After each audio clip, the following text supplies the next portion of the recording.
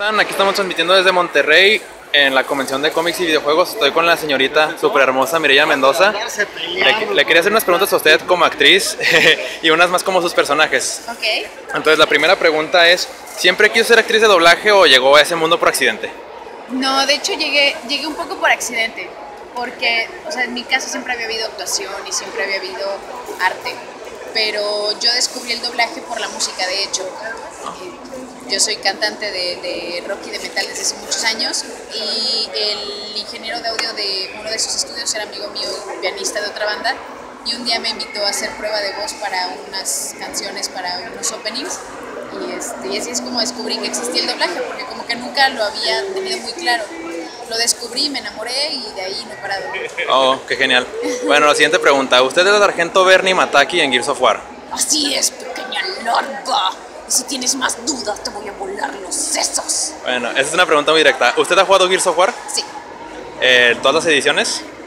todas, porque para poder dirigir la última, el, el Ultimate Edition, eh, tuve, que, tuve que jugar y saber de qué iba el, el videojuego, ¿no? Tengo que estar empapada de la historia. Oh. Entonces, bueno, me honró mucho poder dirigirlo y vaya, fue a través de eso que tuve que hacerlo todo, o sea, jugarlo todo. Ya era fan, pero ya tuve que terminarlo. Oh, qué genial. Bueno, siguiente pregunta. Usted que ha trabajado en videojuegos, en anime y en series de TV y películas, ¿cuál es la diferencia entre cada uno? ¿Qué diferencia hay entre trabajar doblando un videojuego a una película a un anime? O sea, técnicamente son muy diferentes. O sea, la, la forma en la que. O sea, el, el proceso para, para hacer cada uno es completamente diferente. Una del, yo creo que uno de los más grandes, de las más grandes diferencias es que en un videojuego no tenemos imagen de referencia. En un cuando grabamos videojuegos únicamente tenemos audio.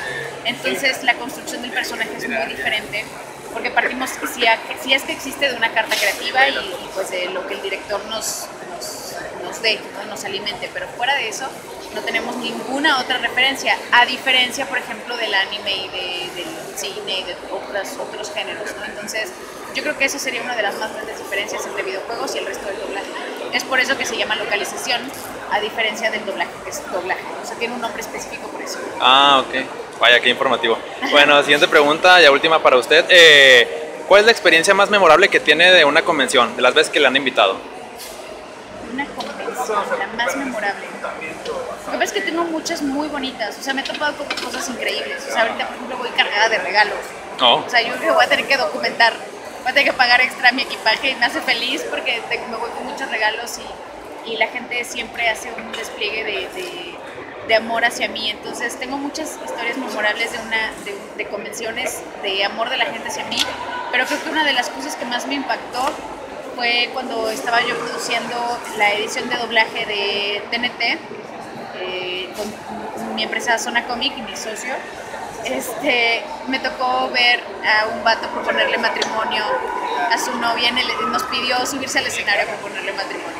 wow. Creo que es una de las cosas más memorables que, nos, que me ha sucedido, que, que bueno, pues te das cuenta cómo la, la gente lo vive diferente y de ahí a miles de historias, como me ha tocado gente que llega con tarjetas de crédito a decir, oye, me encontré esta tarjeta, o me encontré esta cámara profesional, así con todo y estuche, pero no es mía.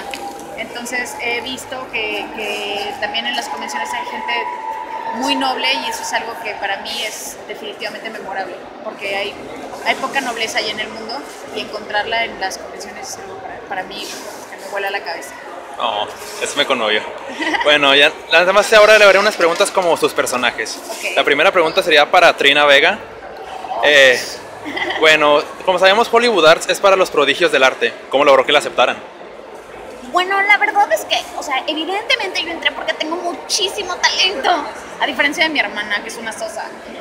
Pero eh, resulta que, hubo por ahí algún, bebida mágica que me ayudó a llegar como, pues, a una posición, pues, de elevación artística. Entonces eh, hizo que uno de mis sinodales, pues, realmente comprendiera mi arte por lo es, ¿no? Entonces, bueno, así es como llegué a Hollywood Arts, pero la verdad es que entré por mi talento. Oh, vaya. Bueno, la siguiente pregunta para Zoe de Digimon Frontier. Usted estuvo en el Digimundo con sus amigos un gran tiempo, incluso le robaron su Digi Spirit. Y JP se esforzó demasiado por impresionarla. Cualquiera podría saber que estaba enamorado de usted, porque nunca se dio cuenta. Bueno, la verdad es que yo solo soy una niña y estoy enamorada de mi príncipe Leonor. ¿O te refieres a Zoe? ¿Te refieres Zoe. a Zoe? Zoe Sefirmón Ah, Casermón. Este. La verdad es que no tengo tiempo para pensar en niños. Soy una niña demasiado fuerte como para estar pensando en esas cosas. Hay un Digimundo que salvar. Oh, vaya. Bueno, ya la- nada más última do- dos preguntas para Bernie Mataki.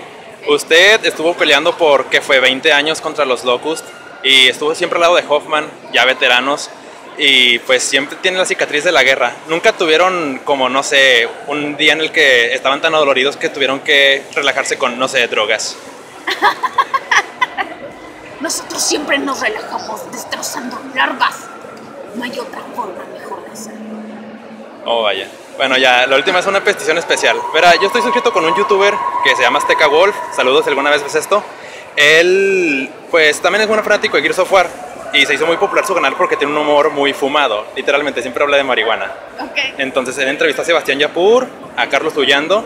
Y siempre les hicimos la misma petición de que si pudieran actuar como si estuvieran bien drogos, bien fumados, diciendo, ¡Oh, se me aparecieron los locust! ¡Wow! Podría la sargento Bernie Mataki hacer esa interpretación. Ok. Bernie Mataki en drogas. Hermano, si hubieras visto lo que yo he visto. No. Mira cómo le voló la cabeza.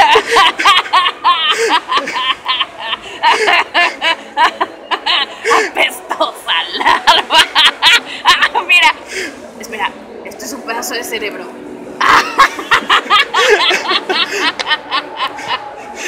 ¿Algo así? Sí, muchas gracias. Bueno, ya sería todo. Nada más algo que quiera mandarle de saludo a sus fans, principalmente a sus fans de Torreón, Coahuila, todos los Gears. Yo vengo de allá. Ay, tú eres de Coahuila, de allá es mi mamá. Oh, Este, pues a, toda- a todos los followers de Gears of War, este, pequeñas, pequeños Gears que andan por allá, pues sigan jugando la franquicia, sigan disfrutando de esta, de esta saga que está increíble. La verdad es que es una de las mejores experiencias que yo tengo dentro de mi carrera. Este, y pues nada, destrozar larvas, basura.